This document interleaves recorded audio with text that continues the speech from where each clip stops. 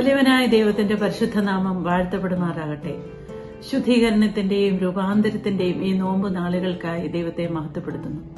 അനുഗ്രഹീതമായ ദിവസത്തെ ധ്യാനത്തിനായി തിരഞ്ഞെടുക്കപ്പെട്ടിരിക്കുന്ന വേദഭാഗം അപ്പോസ്തലനായ പൗലോസ് കുരിന്തിർക്ക് എഴുതിയ രണ്ടാം ലേഖനം പതിനൊന്നാം അധ്യായം ഒന്ന് മുതൽ പതിനഞ്ച് വരെയുള്ള വാക്യങ്ങൾ. Second Corinthians chapter eleven verses one two fifty അപ്പോസ്തലനായ പൗലോസ് നട്ട് നനച്ച് ദൈവം വളർത്തിയ കുരന്ത സഭ. ആ സഭയിലെ വിശ്വാസികളോട് തനിക്കുള്ള സ്നേഹത്തിന്റെ രണ്ട് വ്യത്യസ്ത തലങ്ങളാണ് രണ്ടാം വാക്യത്തിൽ പ്രതിപാദിച്ചിരിക്കുന്നത്. തനിക്ക് അവരോട് ദൈവത്തിന്റെ എരിവാണ് ഡിവൈൻ ജലസി ആണ് എന്ന് അപ്പോസ്തലൻ പറയുന്നു. മനുഷ്യന്റെ ജലസി അവന്റെ സ്വന്തം നാശത്തിനും മറ്റുള്ളവരുടെ ദോഷത്തിനുമായി ഭവിക്കുമെങ്കിൽ ഡിവൈൻ ജലസി നമ്മെ നന്മയിലേക്കും രക്ഷയിലേക്കും സുരക്ഷിതത്വത്തിലേക്കും അനുഗ്രഹത്തിലേക്കും നയിക്കുന്ന ദൈവസ്നേഹത്തിന്റെ വലിയ പ്രകടനമാണ്. ദൈവത്തെ സ്തുതിക്കുവാനായിട്ടാണ് മനുഷ്യൻ സൃഷ്ടിക്കപ്പെട്ടിരിക്കുന്നത്. അതിന് വിരുദ്ധമായ ഏത് പ്രവൃത്തിയും അവനെ നന്മയിലേക്കോ അനുഗ്രഹത്തിലേക്കോ നയിക്കുകയില്ല എന്ന് മാത്രമല്ല ദോഷത്തിനും നാശത്തിനുമായി ഭവിക്കുകയും ചെയ്യും. രണ്ടാമതായി ഒരു പിതാവിനും മകളോടുള്ള സ്നേഹമാണ് തനിക്ക് സഭാവിശ്വാസികളോട് ഉള്ളത്.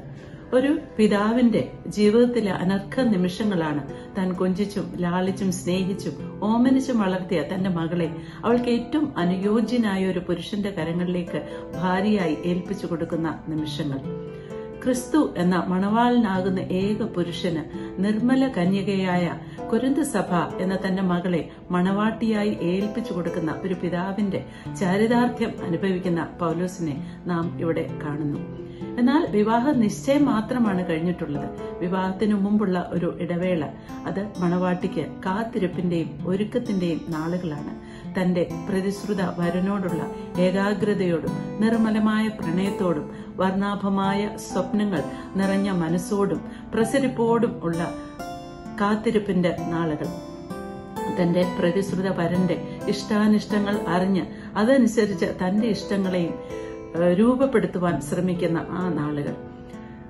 എന്നാൽ കൊരിന്ത് സഭയിൽ എന്താണ് സംഭവിക്കുന്നതെന്ന് നമുക്ക് നോക്കി മനസ്സിലാക്കാം. താൻ ഏറ്റവും പ്രേമിക്കുന്ന കർത്താവിന് വേണ്ടി വളർത്തിക്കൊണ്ടുവന്ന കൊരിന്ത് സഭയിൽ തന്നെ തന്നെ വിമർശിക്കുകയും തന്റെ അപ്പോസ്തോലത്വത്തെ ചോദ്യം ചെയ്യുകയും ചെയ്യുന്ന ഒരു കൂട്ടർ.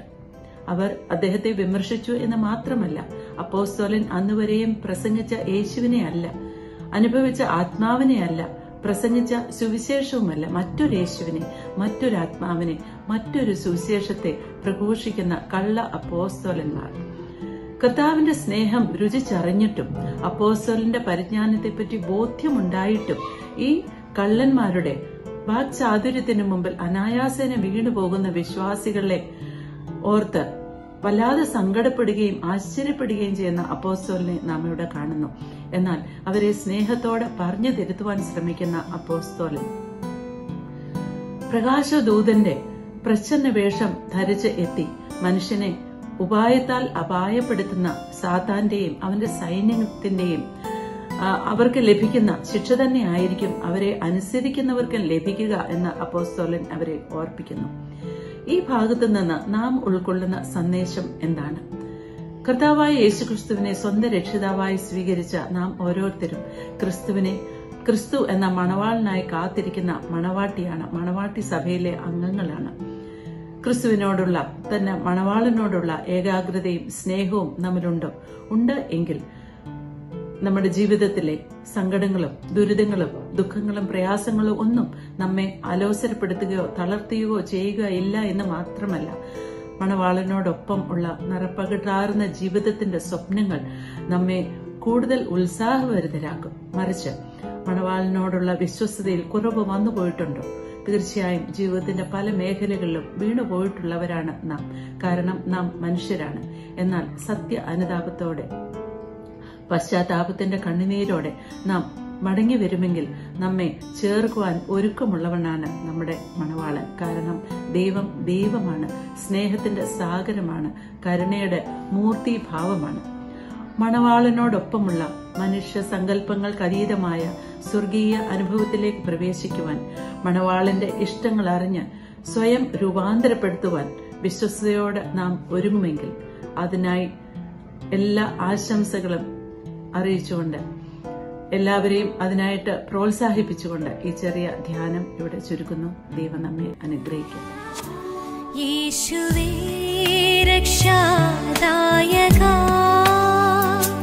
നിന്റെ സന്ന